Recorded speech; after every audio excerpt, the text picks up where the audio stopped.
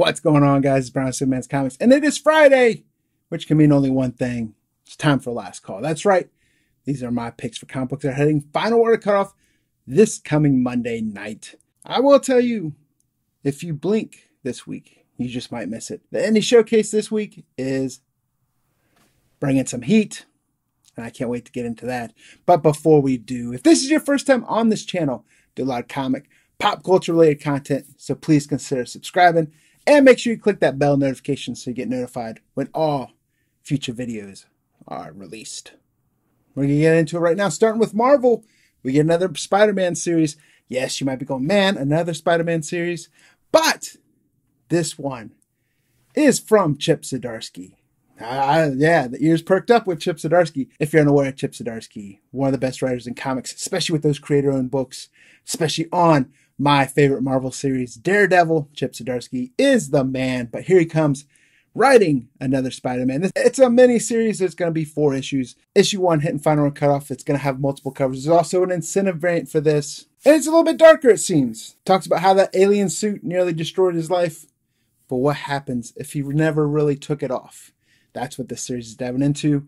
Chip Zdarsky, Spider-Man, cover A. You got that Phil Noto cover art. Definitely getting in on this one early. Getting over to Boom Studios for a second, we get that issue number two to that blockbuster. I say blockbuster because it is just like a movie, but we're talking about BRZRKR number two hitting final order cutoff. Yes, we had issue number one not too long ago. About last week, we had the second print for issue number one hit final order cutoff. But this week, issue number two hitting final order cutoff. Bunch of great covers for this one as well. And I'll tell you, to say the first issue came out punching is a severe understatement. Because, yeah, if you read it, you know what I'm talking about. If you haven't read it, highly suggest you pick up issue number one and pre-order issue number two before this coming Monday night. Getting over DC Comics. This next one we're talking about doesn't need much of an introduction, but we get Joker number two. Remember, the final order cutoff for DC Comics does not match the regular Diamond Previews world. So make sure you check with your LCS or wherever you're ordering online to get that order in. There's also a 1 in 25 incentive variant for this. Fantastic sketch variant. I also like that Lee Bermejo, but just that cover A Guillem March is all fantastic. I do like this Joker series so far. We've only had one issue. But either way, if you're a fan of Joker, this is worth picking up. If you're a fan of cover art, this is worth taking a look at as well. And speaking of cover art, one other pick that I have in here, mostly just for the cover art alone, because it is absolutely gorgeous. We all know we just had that Snyder cut of Justice League drop, so we got new attention being pointed on the Justice League characters, right? Superman, Batman. I don't care. I still think The Flash wasn't the best in that movie. Hope we can get better. Cyborg, so much better than the Snyder cut. Wonder Woman, though, is definitely standalone movie. The first one was great. Didn't care too much for 84. Liked it in the Snyder cut. But what I'm getting at is Wonder Woman issue 771 has that gorgeous, gorgeous, gorgeous, gorgeous Joshua Middleton cover. I have that in here just for that cover alone. Nothing against Becky Cloonan's writing. Phenomenal writer. But this cover just speaks to me. It's yeah, it's like order me. Pick me up. Please.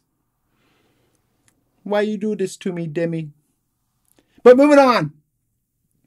The next one we also have a DC. We are getting Batman the Detective from DC Comics. It's a mini-series, but been talking on this channel how great Tom Taylor is. Tom Taylor's been writing Suicide Squad. He's been writing DCeased. He's been writing great titles for Boom with Seven Secrets. And he is getting hold of Batman with the Detective.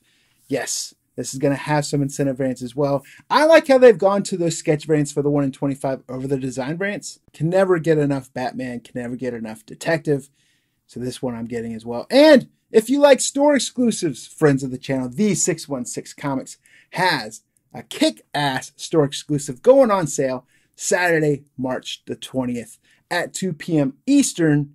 And it's by none other than great exclusive variant artist Kael Ngu. You can get that cover A limited to 3000 for 14.99 or that cover B which is limited to 1500 for 24.99 or Pokemon style, collect them all, get both of them as a set. And that again is going on sale Saturday, March the 20th at 2 p.m. Eastern. There's one other book I wanted to talk about before we get into the showcase.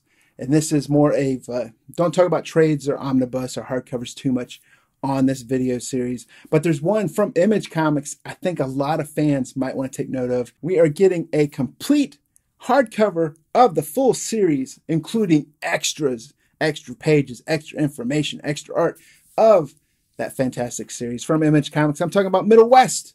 That's right, we're getting a hardcover complete all issues 1 through 18. If you're a Skottie Young fan, this is something that you want to take note of. And if you live in an area where your LCS doesn't carry too many books or hardcover books, they might not order this. So if this is something that you're interested in, make sure you let them know. And a lot of times, these type books, if you pre-order through your LCS, you can get a discount. And don't be scared to ask, hey, can I get a discount if I pre-order this? Hmm? Huh, sucker? Well, don't say that. But do ask for the discount which is going to bring us into the indie showcase portion of this video, brought to you, of course, by Black Cape Comics at blackcapecomics.com. Again, all the books we talk about in this video, plus others, can be pre-ordered for FOC at blackcapecomics.com. Huge fan of indie comics, just like I am. That's why the showcase is brought to you by them. But the first one want to talk about this week is a Zenescope book. Yes, a lot of people right now probably giggling, ha, Zenescope. I'm a Zenescope fan mostly because I love Paul Green covers. He does a lot of great covers for Zenescope, so I collect those. But here's a book I'm telling you, cover art alone, most of the time Zenescope books do get attention for the cover art. This one we're talking about is called Mango and Bunny Man number one. It's a horror comedy comic, like horror, like comedy. Cover A is great. The reason why I'm picking this up, in addition to Paul Green, I love Josh Burns does some great covers. Another person for Zenescope that does great covers, Keith Garvey. But Josh Burns is doing the cover B for this. Gorgeous, gorgeous, gorgeous looking cover. Horror comedy, Josh Burns. I'm picking it up. Also from Ablaze Comics, we get that second issue for Maria Llovet's Arrow Psyche number two. One thing that caught my eye on this one as well is there's an homage variant to Pulp Fiction. A lot of people love to pick up those movie homages. And Pulp Fiction is one of those great movies. I did read issue number one after we talked about it in this video. Loved issue number one. So I'm picking up for the story. I'm going to pick up cover A, but I'm also going to pick up that Pulp Fiction homage. Homage, homage, Ruski variant. Yes, I fully admit sometimes I call it homage, sometimes I call it homage. It's just how much Grey Poupon I've eaten dictates. I guess. But moving on. Then the last one we'll talk about in the indie showcase. This is probably the big pick of the week. It's definitely my big pick of the week. And we are talking about going back to that little tin man. Yes, not Wizard of Oz, but we are talking about IDW's Canto and the City of Giants number one. Seems like I've been talking about Canto for quite a while on this channel, and for good reason. You might have heard Canto has been picked up for an animated feature and a lot of people might think, well, only the first series of Canto books are worth getting, but I've been vocal on this channel that's not the case and still believe so. Whether it's the Clockwork Fairies, whether we had Canto 2 and the Hollow Men. Canto 2 and the Hollow Men, issue number one, introduced a bunch of new first appearances for a bunch of new characters. Who knows what Canto and the City of Giants, issue number one, will introduce. Either way, all these books make up one phenomenal tale, one after another. When they say all ages, it truly means all ages, but not in that stereotype kind of way where you look at the book and be like, oh, that's for kids. No, I'm telling you, if your kid reads it, they pull something out of it. If you as an, as an adult read it, you also pull something out of it. But the best thing about it is it's a book that you can read with your kid or give it to your kid to get them into reading because it's my my kids themselves they just like to watch YouTube and play Fortnite and a bunch of other crap. So I had both of them read the first trade paperback and they enjoyed it. Also, if you're one of the people that always misses out on Canto, every time we tell you to order one, I'm telling you right now, it's hitting FOC. Get your order in at your LCS, get your order in online. There's the normal 1 in 10 incentive, but there's also a 1 in 25 incentive variant for this. So make sure get those orders in. Secure yourself a copy so you're not chasing them on release date or worse on eBay after the fact. That's going to wrap the indie showcase portion, but we do have some additional printings this week as well. That Amazing Spider-Man number 61 is getting a second print. From Oni Press, that Jonna and the Unpossible Monsters. Yes, talked about issue one for FOC on this very video. That issue's also getting a second print. And from Mad Cave, their newest heater of a comic book series, Nottingham, Nottingham number one. That is getting a second print in FOC this coming Monday night. Have you read Nottingham? Oh my gosh. If you haven't, please, please do. If you like Robin Hood in a different type of way, this is one worth picking up. The art and it's great. The cover art's great. Love Mad Cave Studios. And Nottingham number one is another one in that successful line of different comic book series. They have series, I'm telling you, if you haven't checked out Mad Cave Studios, they have a comic book series pretty much for everyone. Whether it's superheroes, whether it's wrestling or wrestling, you know, fantasy, samurai, supernatural. Check out Mad Cave Studios.